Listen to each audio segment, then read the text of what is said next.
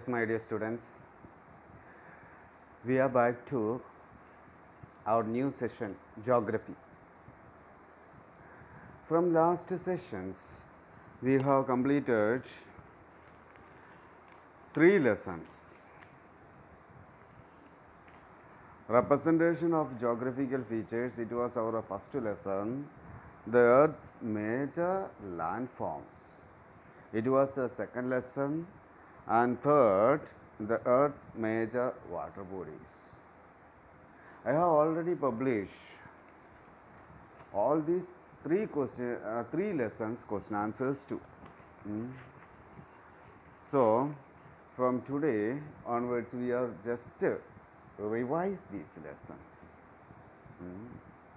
Today, we are going to revise lesson number one representation of geographical features. Was um,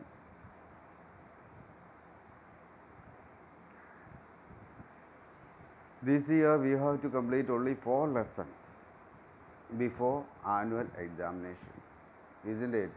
So, I feel better once if we are discussing or once if we are revising then that will be good for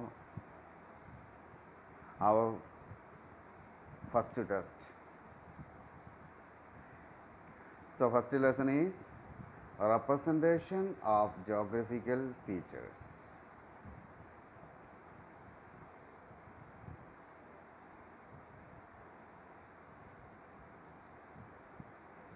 This is what our first lesson.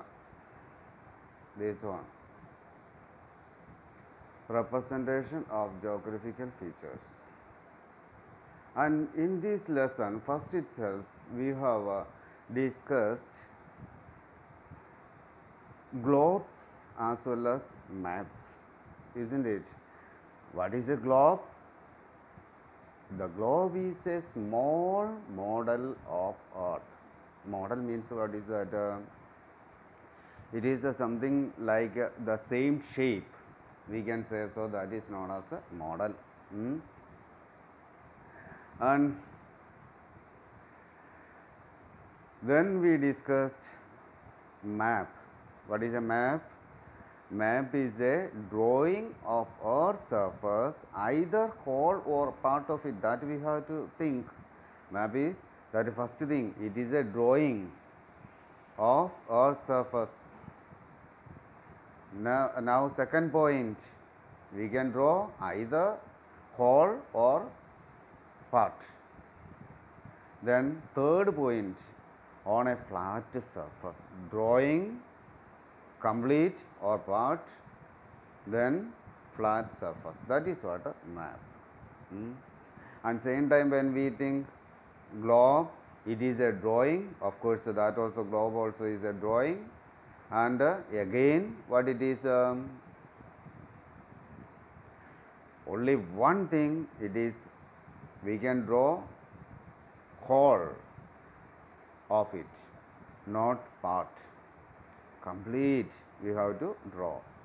And uh, it is a on round shape not flat shape. That is what a globe mm. then after that we discussed distortion. Uh, no, information. There we find maps can have more information and easier to handle than globe. Hmm. Comparing with the map, it have a more information. Information we will get more because its a scale is uh, large and easier to handle. Which one is a map is easier to handle. Then we discuss distortion of map. We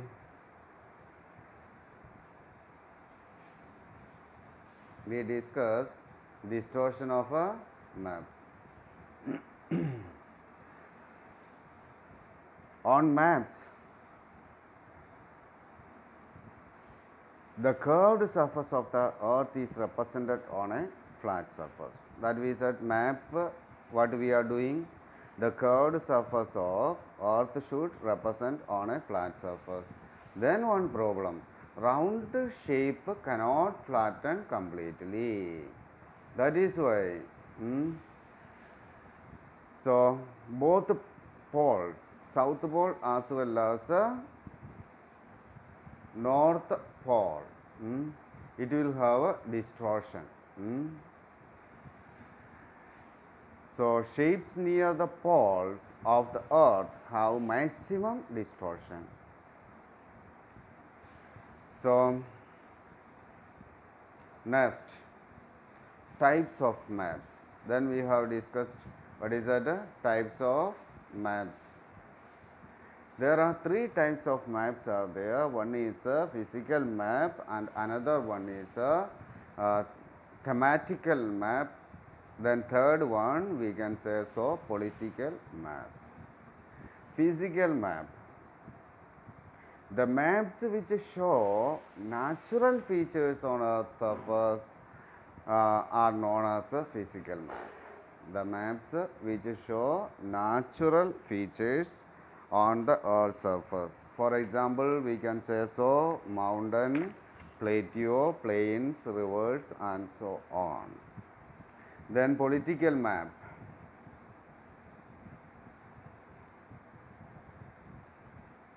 Political map show the boundaries of countries and of the state within the countries. Hmm. Political map which show what it is uh, showing? These uh, show boundaries of country and of the state within the countries. In short, we can say so mainly the man-made things uh, are showing on political maps. Now comes a thematical map. Thematic map means maps can ha- can also show weather conditions. Hmm? In these maps showing mainly weather conditions. Then types of soil, types of vegetation, the distribution of minerals, industries and various other things. These uh, such kinds of maps are known as a thematic map. Then next topic it was um, difference between maps and globes. Then we found two three differences. First difference it was map is a flat and globe is round. Already we said. And second difference, a map show the whole world. Another one, I mean, uh, no, or again we are repeating this one. A map can show the whole world or a part of it. Mm, that already while studying the uh, definition of map we said it. Then but only globe always shows the whole world. There is no choice only one. Next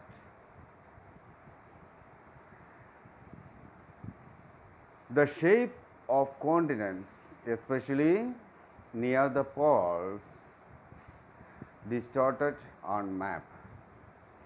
Distortion can take place on map but there is a no distortion on globe. That is what another. So a map can show more detail. It can be showed more detail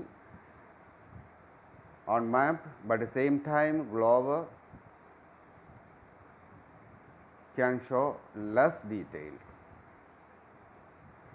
Next point, globes cannot be carried around easily, but same time um, no sorry, maps can carry easily, but globe cannot carry easily. Hmm? So next um, side top in uh, important features of map that is what uh, another thing we learnt.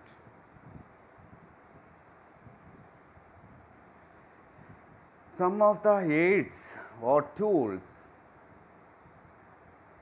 we are providing on map or we are using on map for what purpose?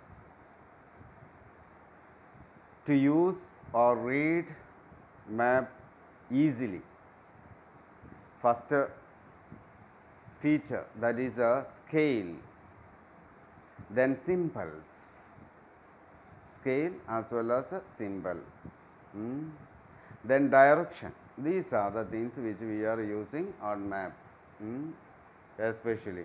And so, dear students, rest chapters revision we will have uh, on next session.